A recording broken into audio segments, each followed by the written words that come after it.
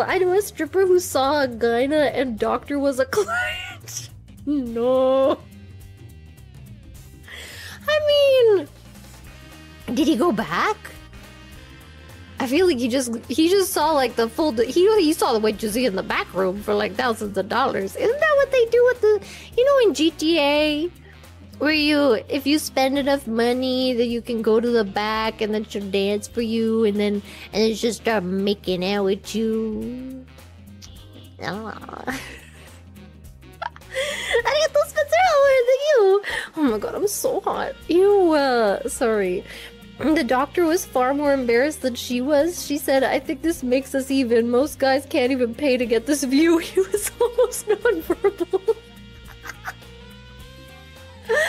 Mean, that is pretty awkward. But then again, okay, here's the thing. If you're gonna be a gynecologist and you're gonna go to a strip club, you have to go to one out of town. I'm sorry. You can't go to one in town and expect none of the girls to end up at your clinic the smallest brain in the world.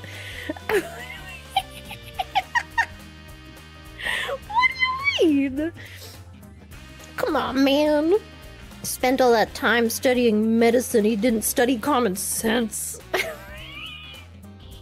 didn't that you gyno at the strip club. He'd he'd see more work and did. I mean, I don't think it's quite the same. I don't think you know, I don't think seeing the inside of a hoo ha is quite the same as getting a sensual dance, you know? Arigato Astro Fury, thank you! The gyno office could have strobe lights and a BGM. That's where I wanna go.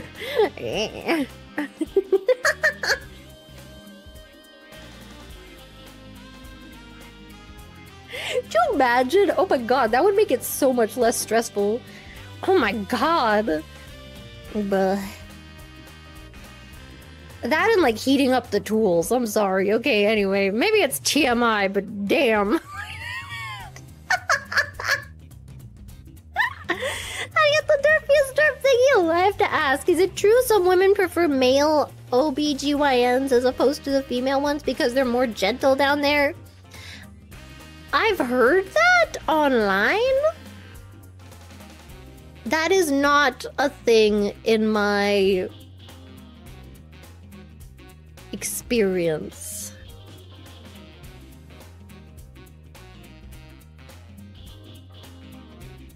But also, it was in Japan. So I went to like a very nice clinic where they were all women.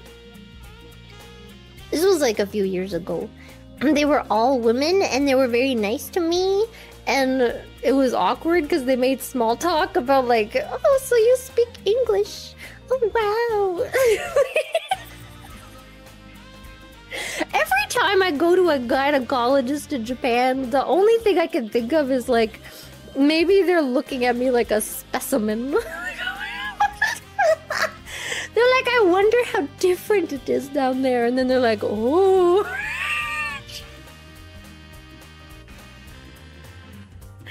I don't want to think about that, you know?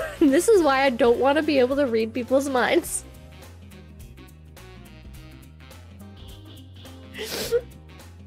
My god, I need to shower! shower!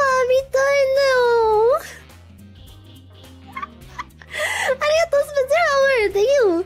I remember hearing on trashy radio show that an OBGYN once said the worst thing to see was a 90-year-old, a very young woman.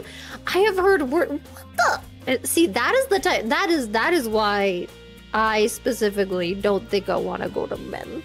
I, you know, as much as I hate to say it, you don't know their intentions. You know, that guy's intentions clearly were not great. So, you know what I mean? I would like some nice ladies to take care of me. Or Loki. Loki can be my gynecologist. I'm gonna go now. If they're gay, I feel like they'd be even rougher just because. I don't know why. I feel like they would.